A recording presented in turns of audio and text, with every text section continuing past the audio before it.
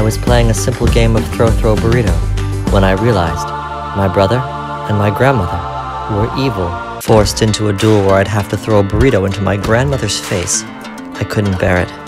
And in that moment, she unleashed her fury. Laugh you will, my family. Revenge will be mine.